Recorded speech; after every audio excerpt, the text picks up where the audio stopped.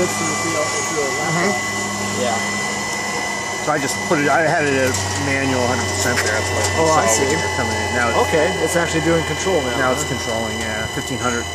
Now, because of the heat that that crucible builds up, it's going to take a while to cool Mhm. back down, especially with no air. Yeah.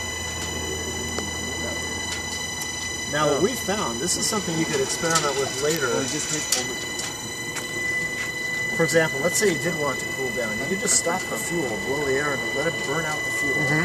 And then you can have it relight, because if that crucible is still cooking at 1200 degrees, just throw some wood in, it's going to relight. And we can do that really easy. We just throw it in the manual, turn the pellet feed off, and put it to 100 percent. yeah, you can do that. Yeah, Yeah, So we have exactly. the ability right. to do that Right. through the HMI. We don't have to change it. Right. Because Yeah, of, sometimes because of Justin's contribution. sometimes you'll find that uh, you need to override what PID wants to do in order to do something.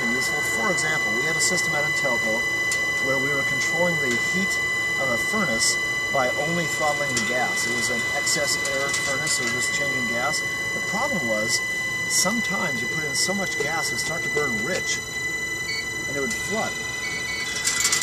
Mhm. So what would happen is we put in more and more gas and the temperature would start to fall. Your back looks great on "Oh, my video, by the way.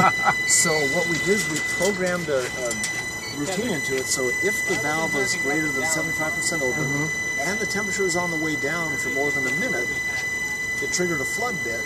Which all that did is just uh, basically shut the PID in manual mode, shove the valve to zero percent for 10 minutes, let it clear out, and then it started back up again.